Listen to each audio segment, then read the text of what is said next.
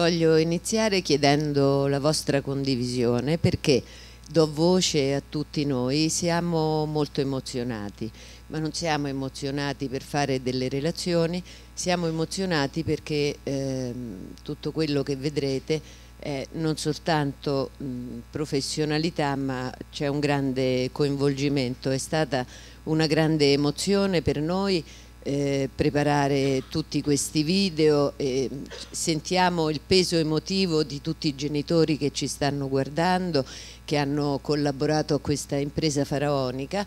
E quindi volevo dare voce a questo perché ce lo dicevamo tra noi. E come diceva ieri il dottor Bianchi non soltanto le persone che compariranno ma tutti quelli c'è stato un lavoro di tutta l'equipe anche di coloro che non parleranno e che magari appariranno solo nei video. Bene eh, questo intervento come tutti gli altri miei interventi come vedete è scritto a quattro mani. E, ehm, mh, per motivi di continuità sarò io a parlarne, ma non c'è un solo pensiero di quello che dirò che non sia stato profondamente discusso, a volte anche animatamente, e condiviso con Federico Bianchi di Castelbianco. Ehm, allora, che, mh, questo sarà l'intervento più lungo della giornata, e, mh, abbiamo un programma molto intenso e speriamo di riuscire a portarlo avanti adeguatamente ehm, quello che vorrei tentare di fare è eh, comunicare la, le basi teoriche che animano il nostro approccio non soltanto all'autismo, ai bambini in senso generale e quindi a tutte le possibili manifestazioni. E prima di fare questo però vorrei ehm, così fare alcune riflessioni, alcune cose sono sta, già eh, state dette ieri, ehm, di um, un cambiamento che c'è stato con il DSM5 che ci permette una maggiore dimensionalità come tutte le cose, se sono adeguatamente interpretate sono uh, assolutamente positive, altrimenti possono diventare un limite, perché quello che è successo con il DSM5 è che tutti i disturbi rientrano nello spettro autistico, quindi da quello uh, meno grave a quello più grave, ma viene chiesta una specifica dei vari livelli di gravità e delle singole funzioni. Allora capite che se questo meccanismo viene utilizzato, allora noi possiamo avere una reale differenziazione dei bambini, altrimenti il rischio è che abbiamo soltanto allargato la maglia, cioè abbiamo un numero maggiore di bambini dello spettro autistico però non differenziati. Ehm, allora, ehm, la premessa è che eh, diciamo per definizione, per modo di essere, per per scelte teoriche noi pensiamo che la contrapposizione sia qualcosa che non debba mai esistere, dico spesso che preferiamo un mondo con le E a un mondo con le O, perché la complessità necessita di molte E e della capacità di mettere insieme. E, ehm, e diciamo c'è uno sforzo crescente per rispettare questa complessità e questo dovrebbe, proprio il rispetto della complessità dovrebbe portarci fuori dalle contrapposizioni. Che però, questo è l'aspetto che mi interessa sottolineare, le contrapposizioni spesso sono la conseguenza di una mancata conoscenza delle determinanti teoriche, cioè sono contrapposizioni che si fanno sui mezzi utilizzati, non sull'epistemologia di ogni singolo approccio. E spesso se non c'è una riflessione profonda di questo in realtà non sappiamo cosa stiamo contrapponendo e pensiamo che la differenza sia solo quel comportamento che stiamo chiedendo e quindi per confrontare e non contrapporre l'approccio comportamentale e quello volitivo bisogna comprendere queste differenze. Ho, abbiamo messo soltanto alcune cose molto generali, per esempio quelle che secondo noi sono le confusioni che hanno generato contrapposizioni. La prima, identificare i mezzi con gli obiettivi della terapia. Ritenere che gli obiettivi dei due approcci siano diversi allora, eh, qui c'è un primo punto da chiarire. Non esiste una terapia che non lavori sul cambiamento dell'approccio cognitivo al mondo. Anche la terapia più profondamente psicodinamica lavora perché l'individuo cambi la sua visione del mondo. Quindi l'obiettivo ultimo di ogni terapia è lo stesso, è promuovere l'adattamento dell'individuo. Ovviamente esistono delle differenze concettuali tra due approcci. La prima è l'idea di come viene costruita la mente e come si interviene chiaramente per, per favorire lo sviluppo della mente. E l'altra differenza fondamentale nella concezione di come si costruisce la mente è la diversa importanza che viene conferita da due approcci alla dimensione affettiva nel facilitare o promuovere lo sviluppo cognitivo. Allora, possiamo sinteticamente, scusatemi la sinteticità, ma insomma possiamo dire che mentre nell'approccio evolutivo proprio partendo dalle premesse dell'evoluzione, è la dimensione affettiva che porta con sé l'evoluzione cognitiva e quindi diciamo le due dimensioni sono assolutamente interdipendenti, in un approccio invece di tipo comportamentale, eh, epistemologicamente parlando, le due funzioni sono considerate indipendenti, tale per cui io posso lavorare sull'una per arrivare all'altra, mm, mm diciamo eh, adesso vedremo meglio nel corso dello sviluppo, eh, nel corso del, dell'evoluzione, capiremo meglio questa differenza e ovviamente la differenza sta nei mezzi che vengono utilizzati. In un approccio cognitivo si lavora prevalentemente sulla dimensione cognitiva per modificare l'assetto cognitivo, in una dimensione evolutiva si lavora sulla dimensione affettiva per modificare l'assetto cognitivo.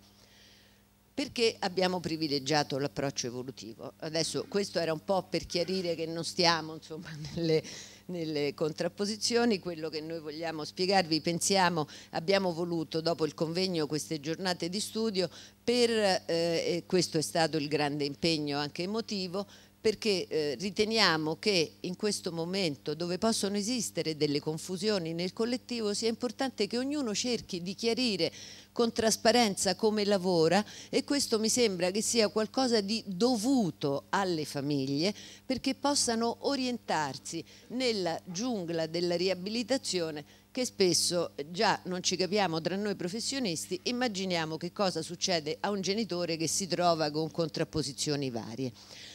E il motivo per cui abbiamo ehm, privilegiato da sempre l'approccio evolutivo è il fatto che anche le ultime teorie dello sviluppo, peraltro suffragate dalle neuroscienze, sottolineano la centralità della dimensione affettiva come impalcatura per tutte le successive evoluzioni. Tutte le teorie dello sviluppo lo hanno ampiamente dimostrato. Ehm, e allora qui c'è un punto che come eh, abbiamo ieri un po' velocemente sottolineato eh, attraverso le ricerche che siamo riusciti a fare, eh, c'è comunque un accordo. Eh, la dottoressa Montano prima ci parlava della necessità che il pediatra riesca a fare le prime chat a 18 mesi, siamo ora in grado di evidenziare dei segni eh, di rischio eh, già nel primo anno di vita e comunque siamo d'accordo sul fatto che nel primo anno di vita sono già visibili alcuni comportamenti. Quindi il deficit si colloca ad un livello molto arcaico e, e quindi sono conseguenti ad una mancata sintonizzazione e quindi è per questo che riteniamo indispensabile partire da lì. Quindi i pregiudizi che hanno creato confusione sono identificare l'approccio evolutivo con la colpevolizzazione delle madri, questo ce lo siamo sentito dire eh, tantissime volte. Quando noi diciamo che la madre deve essere aiutata a sintonizzarsi con il bambino, non partiamo dal presupposto che la madre necessariamente abbia un suo deficit, partiamo dal presupposto che ehm, rapportarsi con un bambino atipico è assolutamente difficile e quindi queste madri non riescono nessuno di noi, se non attraverso tutta la fatica che vedrete eh, viene fatta, riesce a sintonizzarsi con un bambino che parla un linguaggio altro e quindi quando diciamo una mancata sintonizzazione questo dipende dal fatto che il bambino non attiva fin dall'inizio la responsività della madre. Eh, la dottoressa Vinci dalla Sicilia mi dava come risposta all'immagine del contagio il fatto che i bambini ehm, che vige questa, questa modalità che trovo straordinaria, che i bambini a due mesi, eh, loro lo definiscono Ubuntu, eh, ed è quando il bambino, circa due mesi, comincia a rispondere al racconto della madre e questo viene assolutamente enfatizzato culturalmente perché c'è proprio un accesso al mondo della narrazione. E le tradizioni popolari, insomma, come vi dicevo ieri nel 40 Bloiler parlava di mimesi affettiva, è la stessa cosa, i siciliani pure lo sapevano. E, ok. Bastava, bastava chiederglielo. Ehm, ritenere che una casa genetica richieda necessariamente una terapia comportamentale. Non c'entra. Una causa genetica può determinare dei deficit che necessitano di sintonizzazione tale quale un bambino che non ha un problema genetico. Non è la geneticità del disturbo che determina il tipo di malattia, è la manifestazione del sintomo che ci fa stabilire dove dobbiamo intervenire. Identificare la terapia solo con la talking cure e questo è ancora un retaggio culturale molto forte. Noi da anni ci battiamo per questo anche nella nostra formazione di psicoterapeuti eh, diamo una fortissima importanza alla dimensione corporea. Quindi il nostro è un approccio evolutivo psicodinamico che utilizza la dimensione corporea come principale strumento della terapia. Eh, la confusione tra eziopatogenesi e fenomenologia del disturbo ha fatto per anni perdere le straordinarie conoscenze emerse in ambito psicanalitico che ora le recenti teorie cognitive e neuroscientifiche stanno dimostrando. Cioè, noi abbiamo avuto per mm, parecchi anni una perdita di un patrimonio culturale che ci aveva dato veramente moltissimo perché, eh, e questo ci tengo molto a sottolinearlo, se non confondiamo l'eziopatogenesi con la fenomenologia del disturbo, allora eh, diciamo avere una chiara definizione della fenomenologia del disturbo è una cosa essenziale perché noi abbiamo bisogno di codici interpretativi per entrare in rapporto con un bambino che è in un altro, in un'altra dimensione e se non abbiamo questi codici interpretativi noi perdiamo la possibilità di dare senso e significato all'azione dell'altro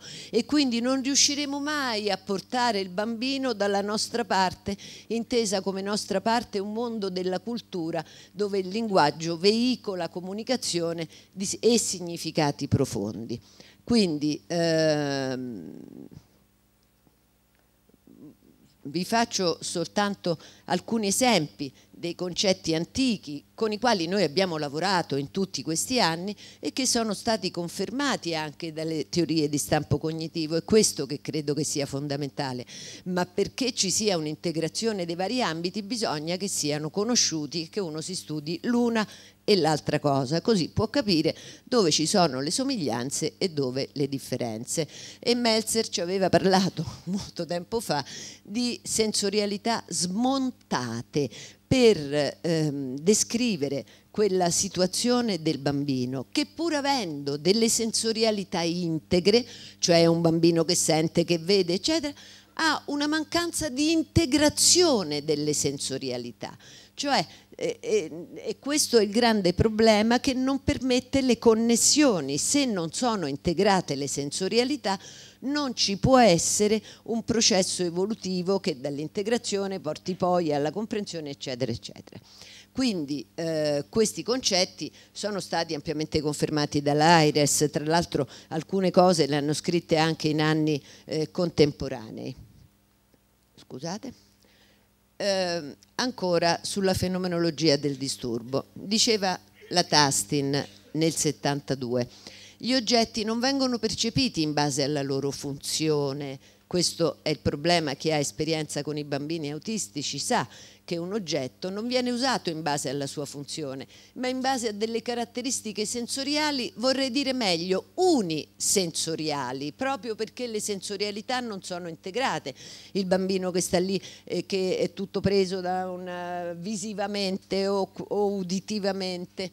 E quindi questi oggetti rimangono oggetti e forme, eh, c'è scritto artistiche, molto bello, ma sarebbe autistiche eh, questa succede spessissimo. Io la trovo splendida questa, questa, cosa che ogni volta le autistiche diventano artistiche, eh, perché sono anche forme artistiche. E poi o oggetti non sé Fordham. E queste affermazioni sono state confermate da studiosi straordinari di ambito cognitivo come Trevarten e Tronic. La pelle come involucro psichico, non è investita del significato di confine tra interno e esterno e non si forma quindi un involucro psichico. Anzier, che è mm, sull'iopelle, e in maniera particolare Usel si è occupato dell'involucro psichico nei disturbi dello spettro autistico. Anche questo è stato ampiamente confermato dalle neuroscienze. Allora cosa succede? Che in risposta a frustrazioni il bambino attiva difese del sé Due parole su questo perché è molto importante. Difese del sé, scusate, devo fare una piccola precisazione, non significa difese dell'io. Difese del sé sono qualcosa di profondissimamente arcaico, cioè non si è ancora formato un io e sono eh, il termine meccanismi di difesa che più o meno tutti conosciamo, si riferisce all'io. Il sé è qualcosa di precedente.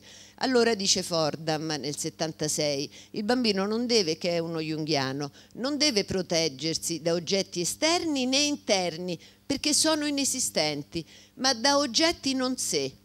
Il bambino erige una barriera prima di creare un mondo interno. Questo sfata ogni possibile dubbio sul fatto che in un'ottica psicodinamica si stia ancora nostalgicamente a pensare che il bambino sta in un suo mondo e che noi dovremo solo andare lì e scoprire e riagganciarlo.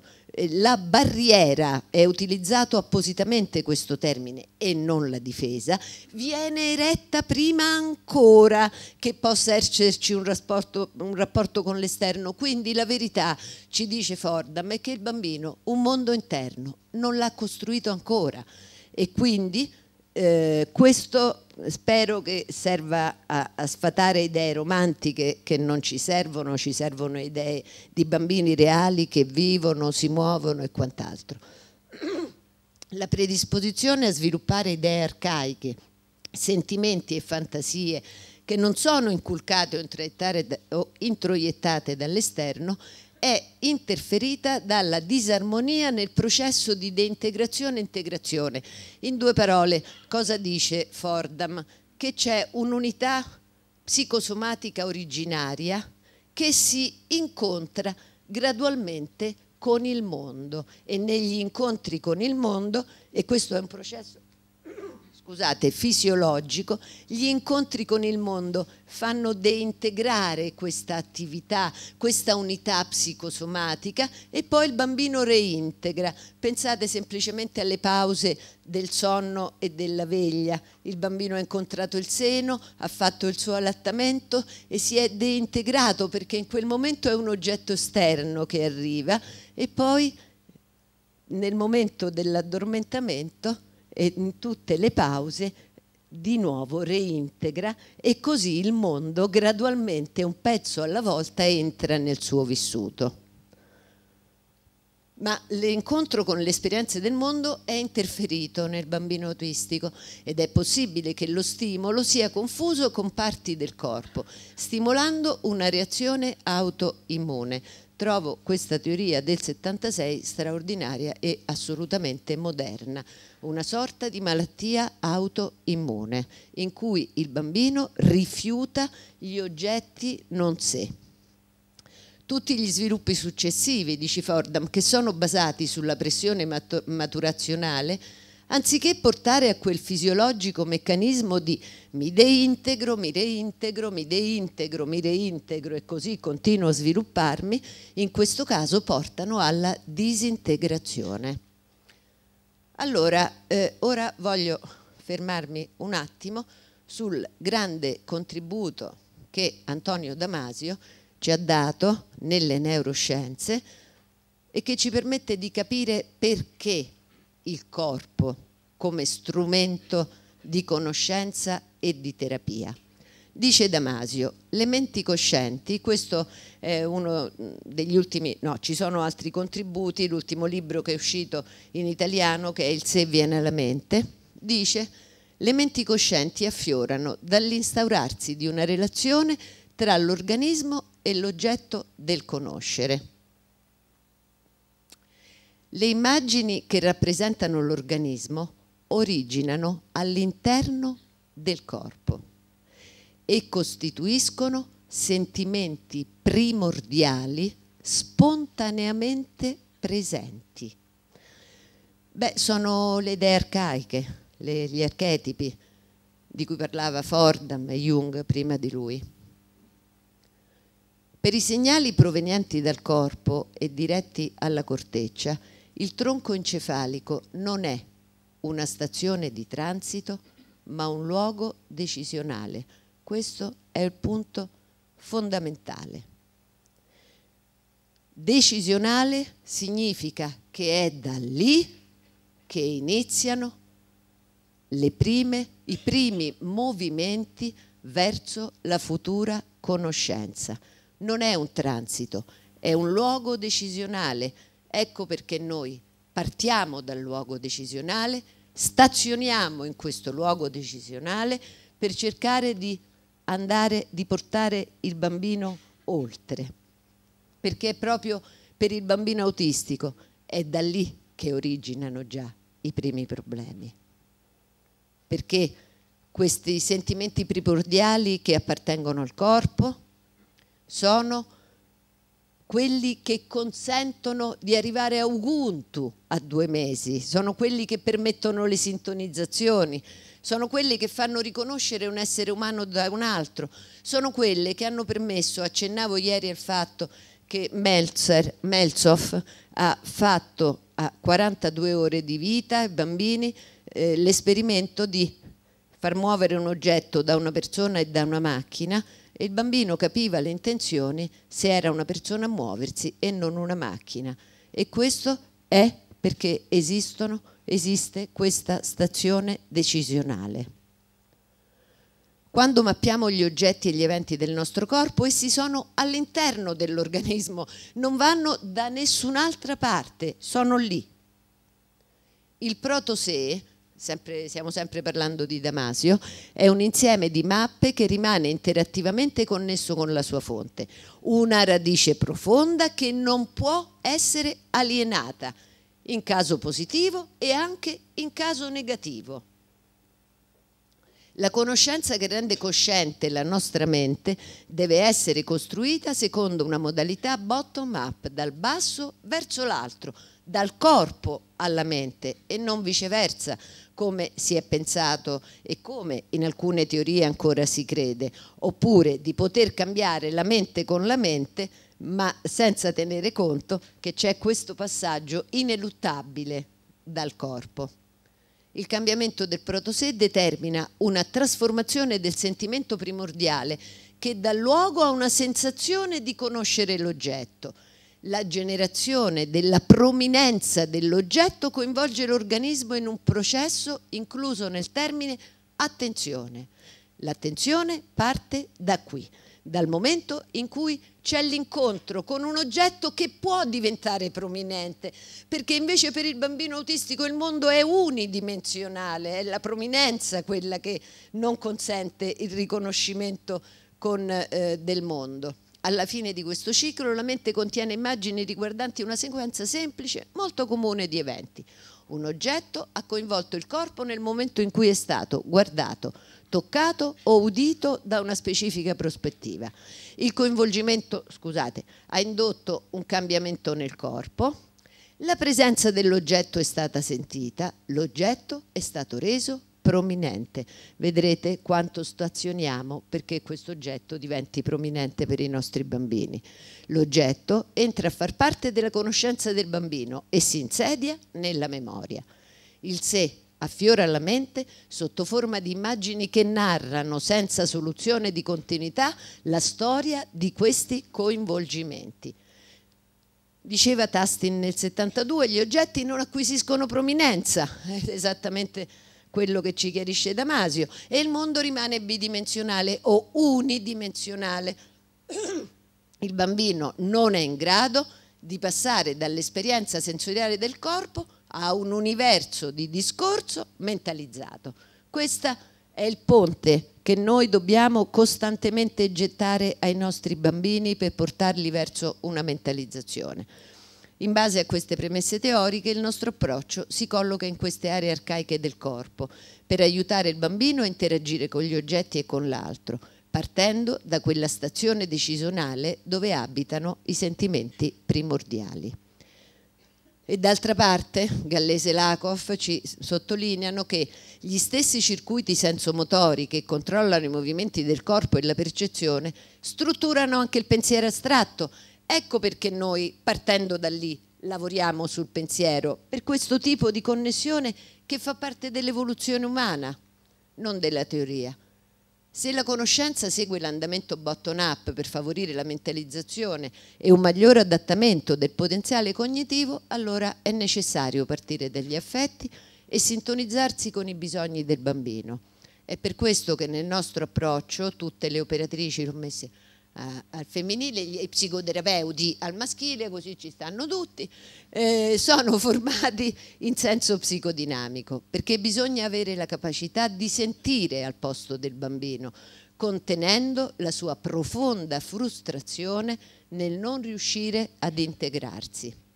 Il punto di partenza è sempre il corpo, come sede di sentimenti primordiali, che devono essere accolti, decifrati ed elaborati dalla mente del terapeuta. Ma la premessa irrinunciabile è quella di partire dal bambino, non dai sintomi che presenta, per garantire comunque il suo diritto all'infanzia. La dimensione ludica, giocare, non fare dei giochi, è ciò che caratterizza tutti gli interventi, affinché il piacere e la motivazione siano i veri attivatori della funzione cognitiva. Il lavoro con i genitori è finalizzato a sostenerli nel difficile compito di sintonizzarsi con un bambino che non è predisposto a farlo per migliorare il loro insightfulness. E eh, voglio un po' appunto eh, spiegarvi e presentarvi alcuni dati, diciamo da oltre dieci anni il nostro lavoro che era comunque eh, presente già da molti anni in precedenza, eh, è stato sistematizzato all'interno di un progetto che abbiamo voluto chiamare Tartaruga per indicare proprio il senso, non qualcuno ha pensato perché c'è la corazza, no, perché eh, va piano ma lontano. E questo era il senso profondo che noi avevamo voluto dare perché questi bambini a volte ci mettono un tempo inenarrabile ma arrivano. E questo significa poter trovare qualcosa di tipico in una, tip una tipia che sarebbe completamente sconcertante per noi, quindi poter pensare che troviamo delle eh, tipicità nel bambino mh, umanizza il nostro processo di cura. E, mh, ovviamente mh, diciamo, le premesse teoriche sono quelle che vi ho detto. E in questo progetto noi lavoriamo tantissimo, soprattutto inizialmente, eh, attraverso la corporeità in vari setting che abbiamo cercato di eh, potervi mostrare oggi, ma c'è anche un grandissimo lavoro che viene fatto con genitori, avremo delle relazioni. So, sia con i genitori da soli sia genitori insieme ai bambini. Allora, che cosa abbiamo voluto fare? Eh, con questo con questa ricerca, eh, questi sono gruppi diversi ancora da quelli che vi ho presentato ieri, c'è un gruppo di bambini che abbiamo seguito per, eh, dai 4 ai 7 anni, ma quello che abbiamo voluto vedere era in che modo procedeva l'evoluzione dei bambini con questo trattamento, cioè abbiamo voluto verificare l'efficacia del trattamento.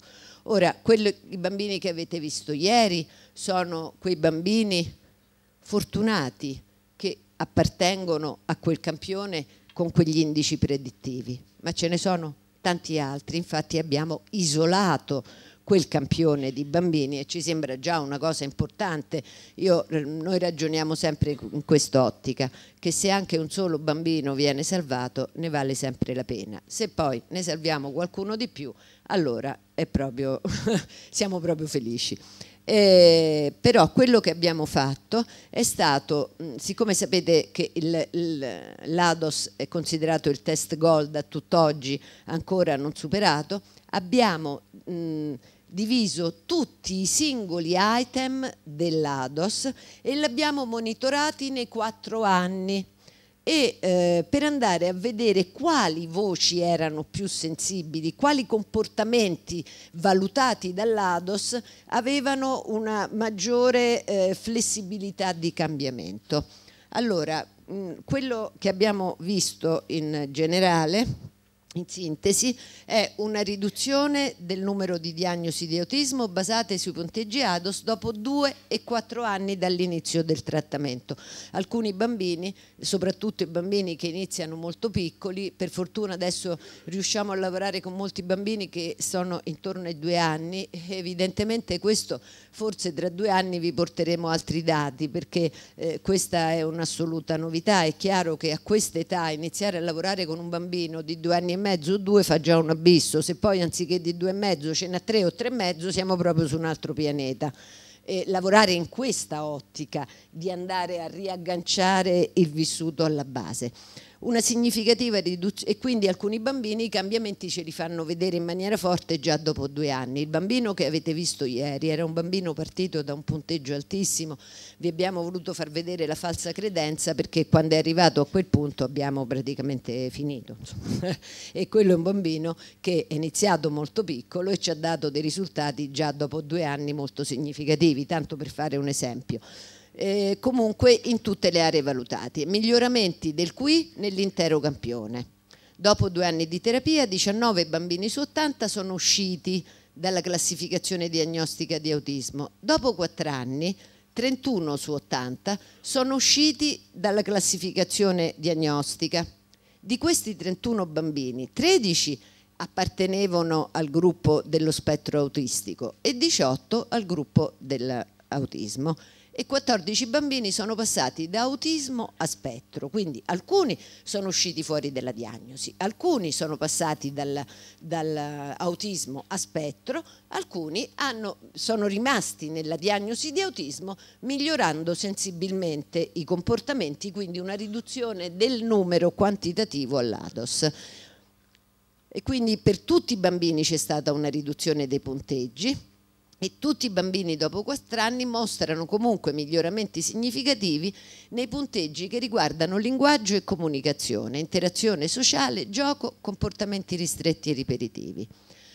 Eh, ovviamente questi punteggi inferiori all'ADOS che cosa significano? Sono la manifestazione di una riduzione di, di, quelle difese autistiche intese nell'ottica in cui vi ho detto per non essere confusi con queste difese romantiche di un mondo di un'altra natura, sono queste barriere iniziali che portano il bambino, guardate anche le ultimissime teorie, per esempio Smith che ha parlato dello sbilanciamento empatico, sottolinea quanto le stereotipie che sono state veramente tanto maltrattate nel mondo eh, scientifico siano invece la manifestazione di un eccesso di eh, empatia emotiva, paradossalmente, cioè il bambino autistico sarebbe così sensibile agli stimoli che deve erigere delle barriere e le stereotipie servono proprio a questo. Quindi nel momento in cui noi ci sintonizziamo con le aree più arcaiche, evidentemente le difese possono abbassarsi e quindi diminuiscono i comportamenti stereotipati. Qui è semplicemente per farvi visualizzare, eh, sono dei, degli item delle sottoscale dell'ADOS dove abbiamo, allora, quelli in verde sono, perché si vedono effettivamente, quelle in verde sono autismo e considerate che eh, il, la, il, fatto che siano maggiori significa che stanno peggio, cioè un punteggio più alto significa che i bambini hanno dei comportamenti più disfunzionali. Come potete vedere già così a occhio, i bambini autistici rispetto a quelli dello spettro autistico, quindi già facciamo una differenza sostanziale di due categorie, hanno dei comportamenti più disfunzionali in tutte le sottoscale che riguardano la comunicazione, dall'indicare eh, al gioco.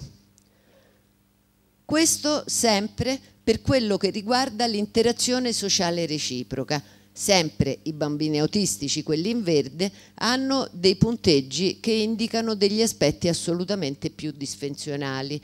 Non riesco a... il contatto visivo, perché non si legge, vero? Perché c'è troppa luminosità, perché l'avevamo... Va bene, comunque sono tutte le aree che riguardano l'interazione sociale reciproca. Esatto, esatto.